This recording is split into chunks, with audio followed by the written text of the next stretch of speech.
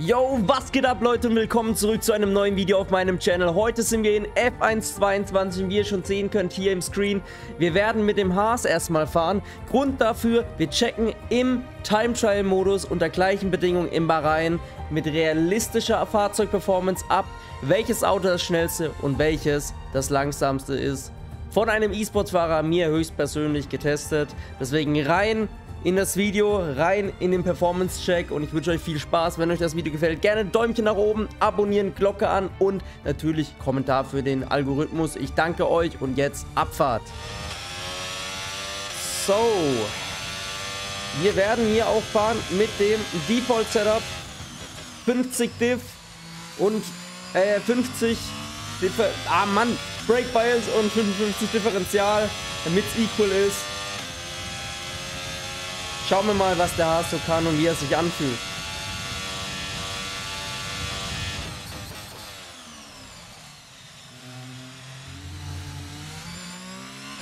Das nenne ich untersteuern. Ja, da muss man viel früher auf die Bremse. Heilige Makrele. Also der Haas ist sehr schwach auf der Bremse.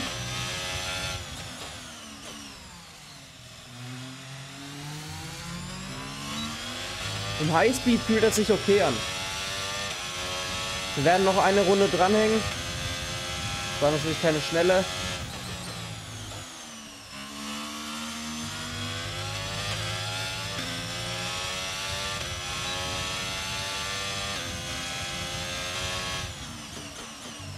Oh. Ja, okay, da hängen wir lieber noch eine Runde dran.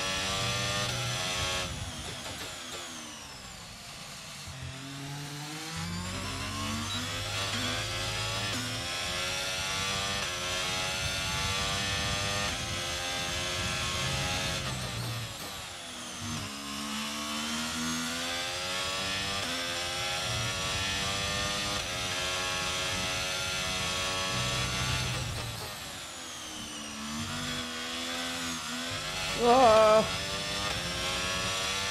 Ja gut, da haben wir nochmal zwei Zehntelchen verloren.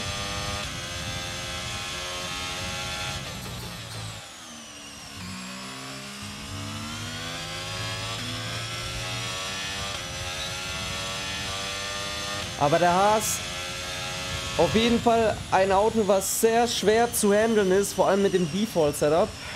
29, 5, 4, 3. Alfa Romeo. Mal gucken, wie viele Anläufe brauchen wir hier. Okay, dieses Auto merke ich schon direkt. Das rotiert viel besser. Die Kamerasettings sind natürlich anders. Sieht aber eigentlich ganz cool aus mit unseren Settings, finde ich. Langsamer auf der Geraden merken wir jetzt schon mal.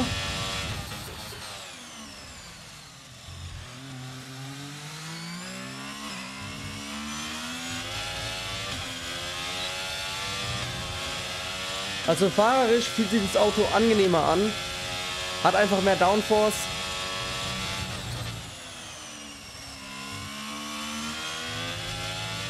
Na gut, hier haben wir einiges an Zeit verloren.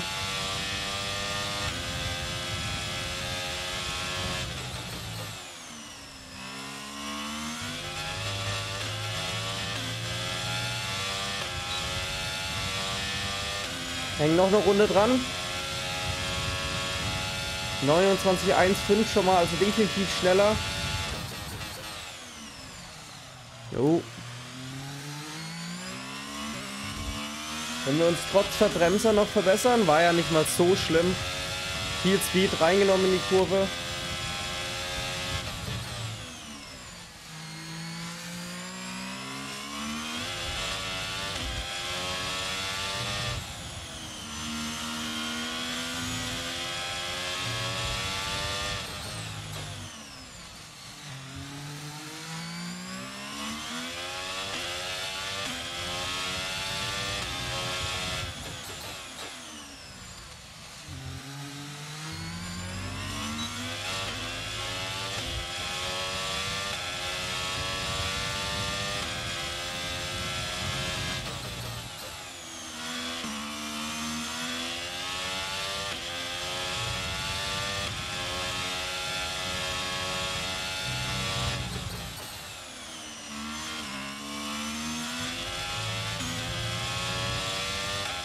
Lila Mittelsektor.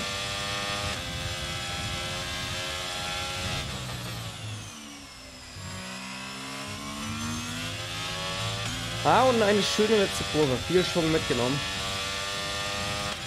Also 29.035 beim Alfa Romeo. Kommen wir zum Williams. Williams Racing.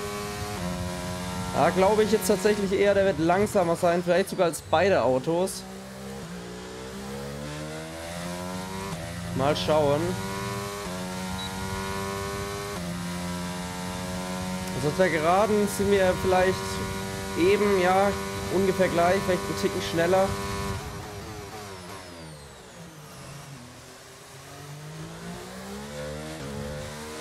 Ich glaube, gerade in den Kurven werden wir doch gegen den Alfa Romeo nicht so gut aussehen.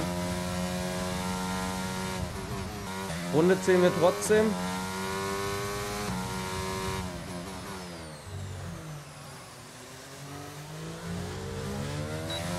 Ja, wesentlich gerade in den Low-Speed-Sektionen verlieren wir viel Zeit.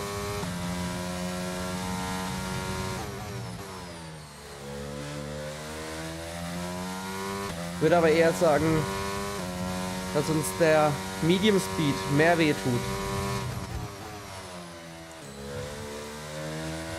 High Speed scheint ähnlich zu sein. Nicht so viel, definitiv schneller als der Haas da. Ich glaube Medium Speed ist der Haas ein bisschen besser. Low Speed sind wir wiederum besser. Ah, nochmal Invalid. Egal, so ist es nun mal. Komm, eine gute Runde noch irgendwie hinkriegen.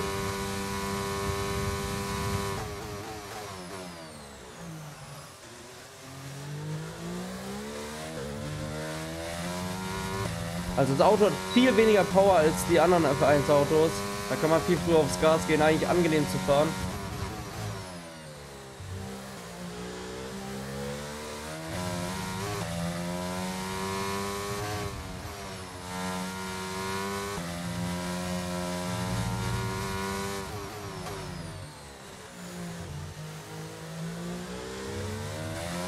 Ja, es fehlt einfach im Highspeed extrem.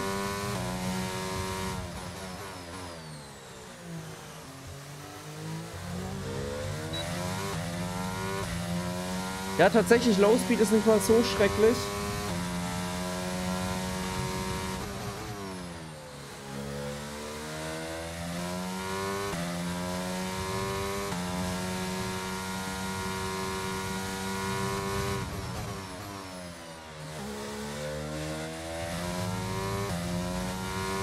Ich habe jetzt gar nicht mehr die Zeit vom Haas im Kopf, aber ich glaube, der Haas und der Williams sind sehr streckenspezifisch, was die Rundenzeit angeht.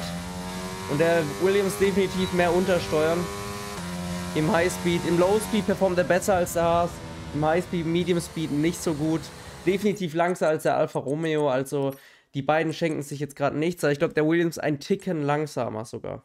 Kommen wir zu Sebastian Vettel, seinem letzten Rennwagen in der Formel 1 vorerst.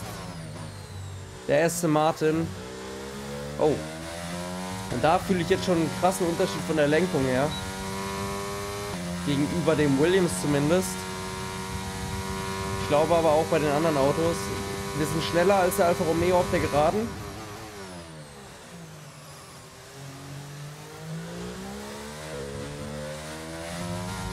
Im Low Speed. Gute Performance für das, dass wir keinen guten Exit erwischt haben.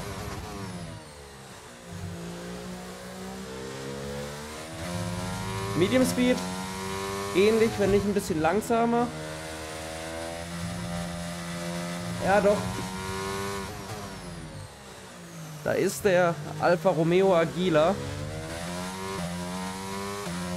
Im High und Medium Speed.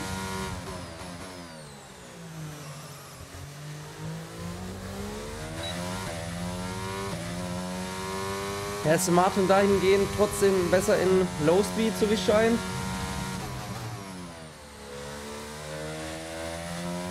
Und auch was Traktion angeht, ist er nicht schlecht.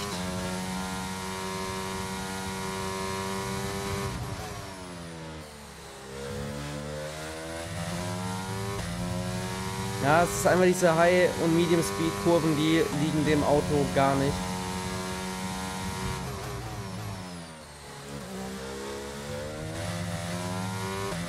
Versuche echt so viel Zeit wie es geht rauszuholen, aber einfach schwierig. Eine Runde versuchen wir noch, vielleicht kommen wir näher ran.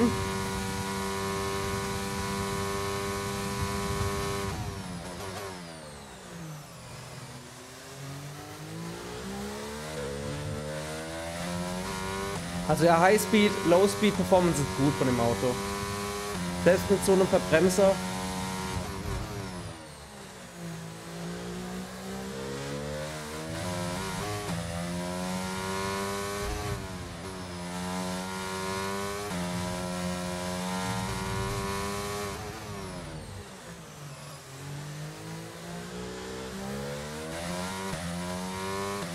Gut Mist.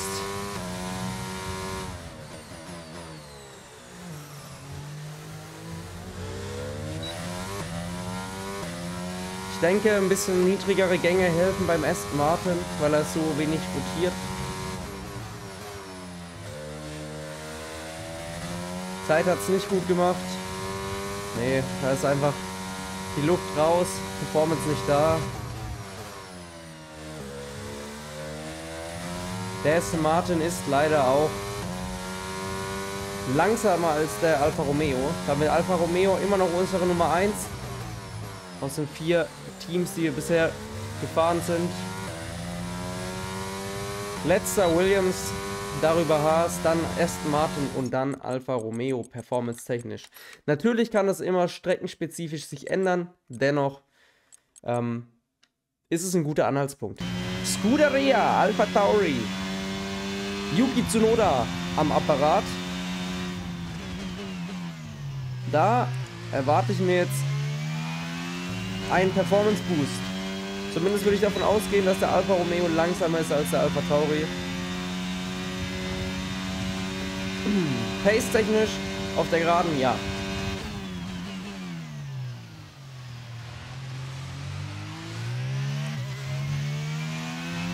Auto liegt super. Oh, die Low Speeds sind sehr stark. Sehr viel Traktion.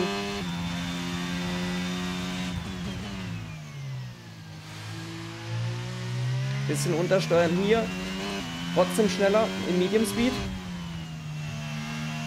Mal schauen, wie es aus der Kurve aussieht. Ungefähr gleich. Hier wieder Low Speed. Zeit rausgeholt. Oh. Verbremser. Und trotzdem holen wir Zeit raus. Ja, okay. Also der Alpha Tauri, der ist schon eine ordentliche Stufe über dem Alfa Romeo. Der Alfa Romeo gerade in seiner eigenen Klasse.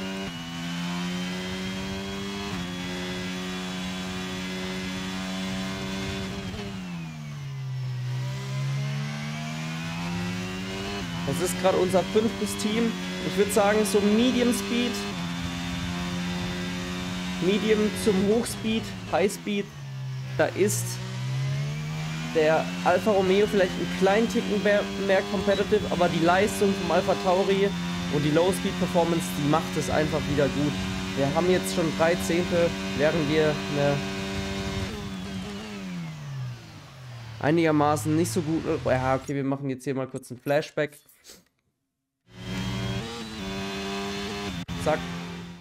Runde 10 war jetzt nicht, glaube ich. Bin mir nicht sicher. Ja, also definitiv so 13 schneller als der Alfa Romeo hier in Bahrain. Okay. Ist schon ein schönes Auto, der Alpine. Muss man schon sagen. Auch der Sound ganz geil. Ist er aber auch schnell. Ist er schneller als der Alpha Tauri? Ist er langsamer? Auf der Geraden ein Ticken schneller.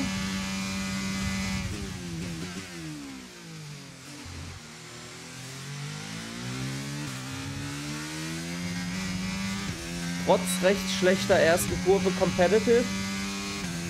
Rotiert schön.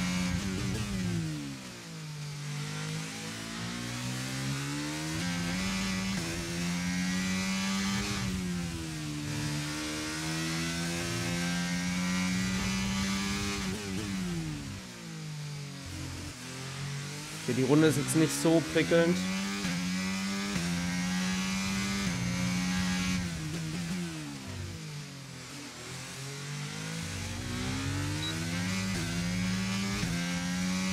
Die beiden Autos sind sehr ähnlich. High Speed, Medium Speed unterscheidet sich da wieder.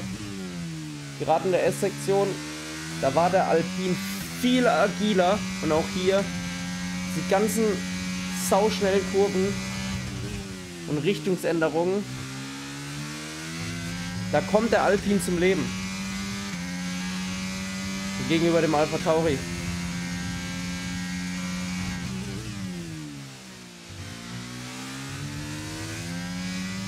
Ja, also Low Speed war, glaube ich, ein Ticken besser. Medium Speed vielleicht ein kleines bisschen langsamer, aber High Speed. Da holt es einiges raus. Oh je. Ja, das wird nichts mehr. Aber okay, das nehmen wir mal als Referenz. Wir hatten noch ein bisschen Zeit drin.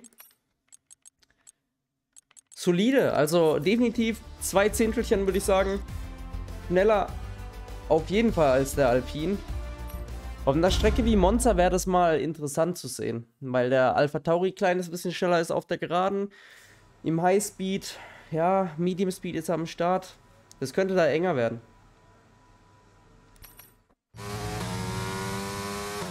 McLaren, Lando Norris, Oscar Piastri am Apparat.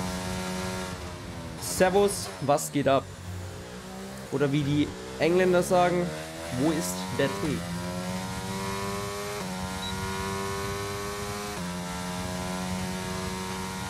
Oh. Mercedes-Motor langsamer oder McLaren zumindest langsamer als der Alpine auf der Geraden.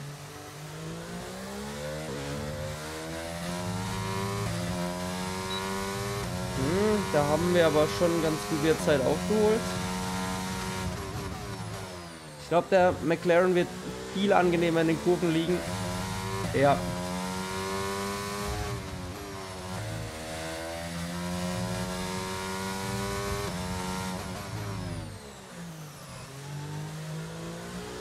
Oh ja. Rotiert auch viel besser im Low Speed.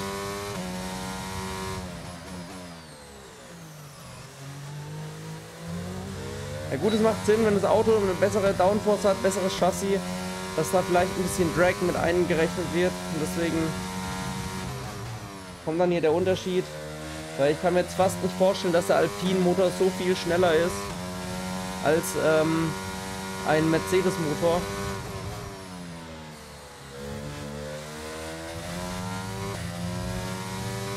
Die Autos sind doch ähnlicher als gedacht. McLaren fühlt sich aber schöner an zum Fahren.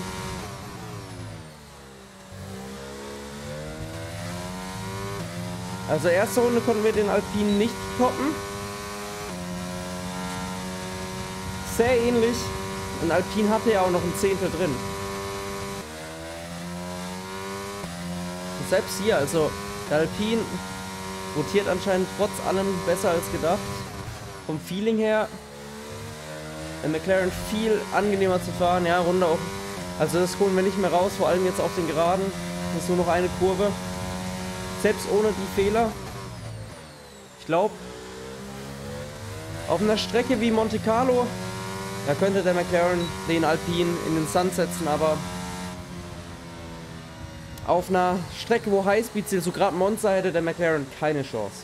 Und von McLaren gehen wir zu Mercedes.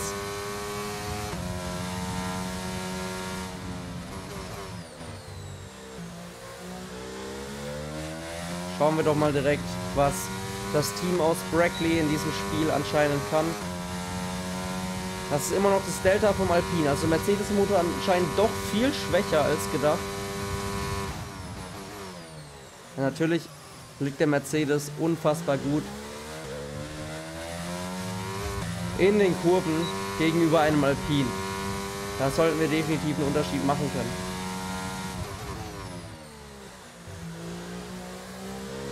Auf dem Gas rotieren, den Körb mitnehmen. Jetzt Vollgas hier durchbrettern.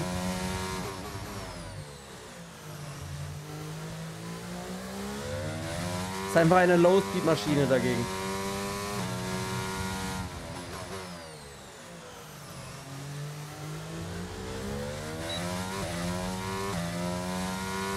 Auf der Geraden werden jetzt wahrscheinlich wieder halbe Zehntel verlieren.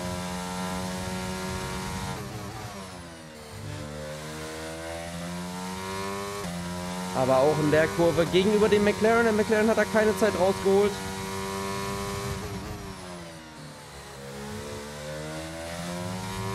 Und auch hier wieder. Wunderschön. Die Kiste läuft.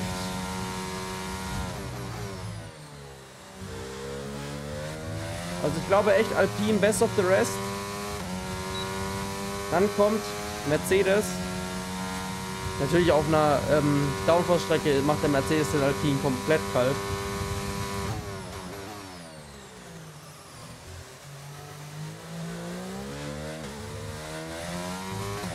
Ach, Mist. Ich wäre noch gerne in die 27er gedroppt. Waren einige Fehler in der Runde jetzt auch nochmal. Aber können wir schon mal festhalten, der Mercedes ist auf jeden Fall deutlich stärker als der Alpine. Und damit das neue führende Auto in unserer Rangliste. Schauen wir uns den Ferrari an. Fratelli d'Italia, l'Italia se desta. Und dazu noch heute tatsächlich Auto-Reveal von Ferrari. Wunderschönes Auto, mein Lieblingsauto bisher auf dem Grid für die 2023er Fahrzeuge. Wir sehen auch schon hier, das Auto leuchtet, die Kiste läuft. Schneller als Mercedes auf der Geraden. Aber ich glaube, es ist auch nicht schwer, wenn selbst ein Alpine schneller ist. Uh, uh, uh. Scuderia, aber ein bisschen loose am Heck. Da muss auf jeden Fall noch mal eine Runde gefahren werden. Aber schauen wir trotzdem mal, wie es sich anfühlt. Krass. Also das Auto viel schneller, glaube ich, als der Mercedes. Alleine wegen der Topspeed. Aber auch in jeglichen Kurven mindestens competitive. So gerade in diesen, diesen Highspeed-Kurven ist der Mercedes schon gut.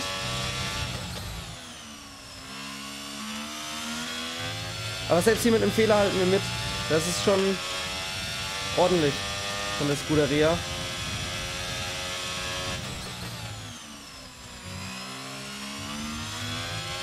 Ja, hier holen wir enorm viel Zeit raus. Es ist tatsächlich vom Gefühl her nicht so schön wie der Mercedes zu fahren, aber dafür rotiert es mehr und dadurch kommt die Rundenzeit.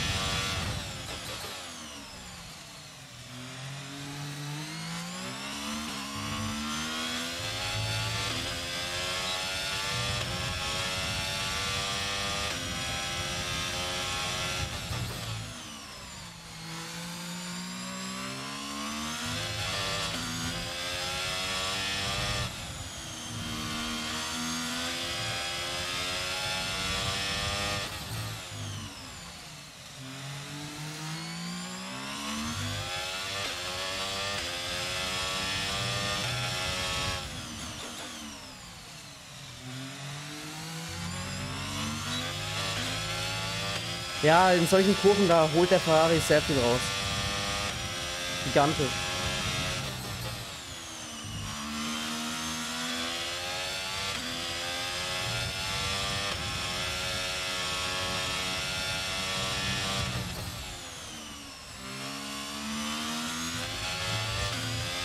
Dreieinhalb Zehntel schon.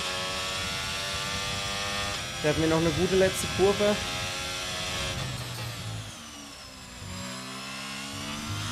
Die rote Bestie zeigt, was sie kann. Wahnsinn. Also nochmal eine Hausnummer gegen den Mercedes, definitiv in jederlei Performance, würde ich sagen. Ähm, Gerade in diesen so mittleren Highspeed-Kurven. Da würde ich sagen, Mercedes sehr eben, Low-Speed, Ferrari dominant, High-Speed dominant. Ähm, mehr muss man nicht sagen. Vor allem Traktion ist auch nochmal eine Sache. Die ist hier ein bisschen schlechter, trotz allem kann man irgendwie aggressiver pushen und es rotiert einfach besser. Deswegen kommt da auch die Rundenzeit und natürlich Highspeed. Äh, Topspeed auf der Geraden ist einfach viel, viel, viel, viel mehr competitive als der Mercedes. Kommen wir zum letzten Auto, einem Auto, das wir sehr oft auf diesem Channel sehen. Mein Team, Oracle Red Bull Racing. Und nein, ich habe nicht gesandbagged. Okay. Ich habe nicht gesandbagged. Damit ich jetzt den Ferrari oder alle anderen Autos schlage. Wir sehen hier schon Topspeed vom Red Bull gigantisch gegen den Ferrari. So, erstmal schön verbremsen. Da war der Ferrari tatsächlich angenehmer.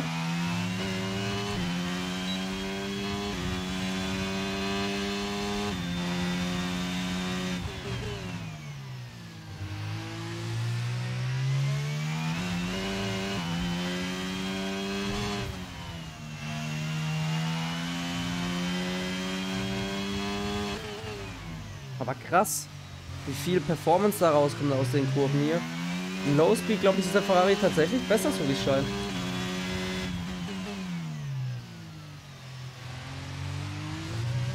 Ja, wesentlich. Also Ferrari und Red Bull sehr eng beieinander. Aber in diesen Kurven hier alles High Speed, Medium Speed. Wenn ich, sie, wenn ich die Kurve treffen würde, da ist der Red Bull einfach wirklich sehr dominant.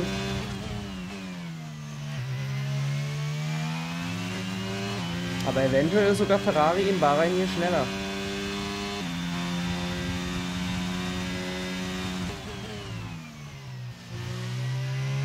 Ich glaube tatsächlich, die Online-Performance von den Autos, der Multiplayer, Multiplayer-Car und sowas, basiert auf dem Ferrari seiner Performance.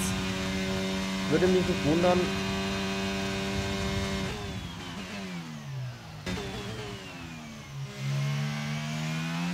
Oh, oh, oh, okay.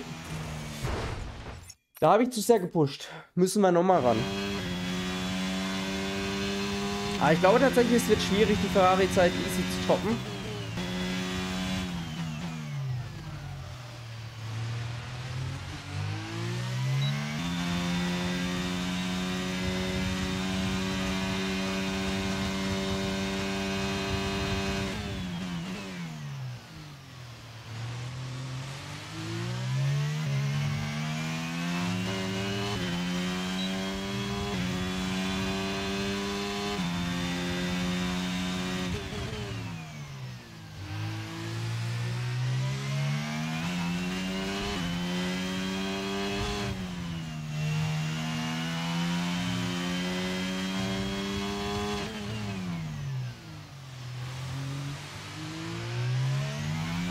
Eieiei.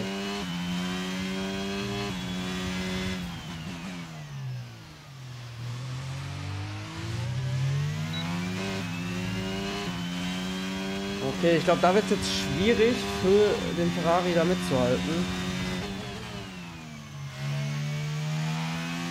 Vielleicht täusche ich mich auch. Ungefähr ähnlich hier. Andere Charakteristik, ähnliche Performance.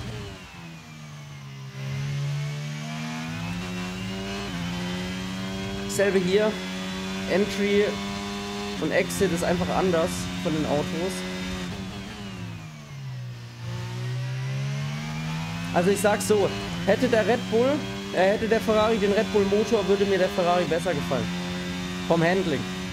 Der Red Bull ist schneller. Aber der Ferrari irgendwie natürlicher zu fahren. Finde ich. Überraschend, habe ich jetzt nicht gedacht. Also ich hatte eher Probleme jetzt Rundenzeit rauszuholen aus dem Red Bull. Das hatte ich beim Ferrari nicht so. Deswegen ja, also Reihenfolge. Williams letzter. Dann haben wir den Haas. Wir haben... Ich glaube, da war es Alfa Romeo. Dann kam... Alpha Tauri. McLaren.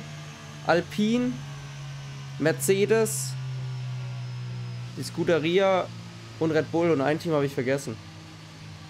Hä? Naja, ihr werdet es schon aufgelistet finden. Irgendwas hat da oben wieder nicht funktioniert in meiner Birne. Ähm, ich hoffe, euch hat das Video gefallen. Und wenn ihr gern mehr solche Guides und Tests und sonst wie sehen wollt, dann gerne in die Kommentare da lassen. Zudem habe ich noch auf dem Discord-Channel jetzt mit meinen Mods einen neuen Channel eingerichtet. Deswegen einfach mal unten in der Beschreibung vorbeischauen. Da ist der Link zu dem Discord. Und da könnt ihr einfach beitreten, Videoideen reinhauen zu egal was, egal welche Fragen ihr zum Spiel habt. Manche werde ich bearbeiten, manche nicht, aber es gibt mir einfach eine Idee, was ich machen könnte für Content, gerade für den Channel, was ihr gerne sehen wollen würdet, für Tutorials oder sonst wie. Haut's gerne einfach rein und wir sehen uns dann im nächsten Video. Euer Marcel, ich wünsche euch einen schönen Tag. Peace.